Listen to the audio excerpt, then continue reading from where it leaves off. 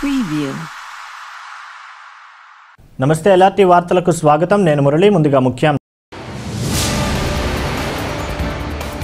రుద్రంగి మండలంలో కోఆప్షన్ సభ్యుల జమీలా బేగం ఆధ్వర్యంలో పారిశుధ్య కార్మికులకు నిత్యావసర సరుకులతో పాటు బియ్యం పంపిణీ చేశారు. చందుర్తి మండలం జోగాపూర్ గ్రామంలో ఆటో కార్మికులకు గ్రామ పంచాయతీ సిబ్బందికి కూరగాయలు బియ్యం పంపిణీ చేసిన నాగం కుమార్.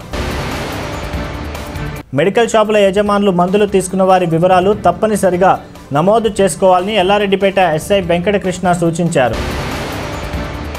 కోనరావుపేట మండలం మామిడిపల్లి గ్రామంలో జరిగిన కార్యక్రమంలో యాభై మంది వలస కూలీలు నిత్యావసర సరుకులు పంపిణీ చేసిన జడ్పీ చైర్పర్సన్ అరుణ రాఘవరెడ్డి.